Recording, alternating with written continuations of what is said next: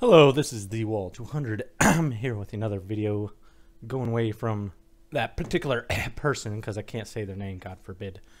And that's going to be the last video on him for quite some time because uh, unlike some people, I don't know when to move on and drop the topic and be done with it. So today's video is going to be about Frieza and whether or not he can be a redeemable character. Can he be uh, switched to the good side? Uh, this comes from because um, I've seen some questionable leaks.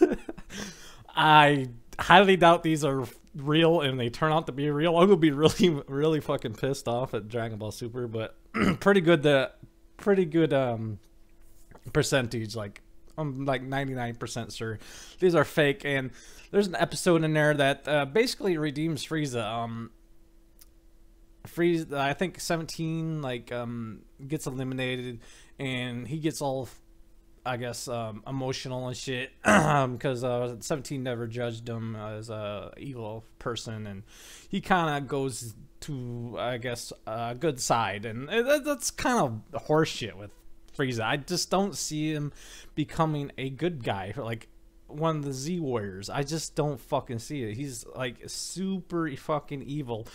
He's reigned over his like I guess his kingdom, if you want to fucking call it that, his his army for God knows how long. Um, I just don't see Frieza becoming a good guy. Like I just see it's like Cell or like Majin Buu or not, you know, Kid Buu, I, I should say, because Majin Buu did turn out good in a different way, but like Kid Buu, like turning a good person, like seriously, like, these guys um are evil for a reason. They have to be the bad guy, you know. And certain bad guys I can understand, like like Vegeta, like kind of redemption, like that it took him a, quite a long time to come to the good side, though. So, and start caring for people on Earth, and you know, kind of being actually a, a decent uh, character, you know.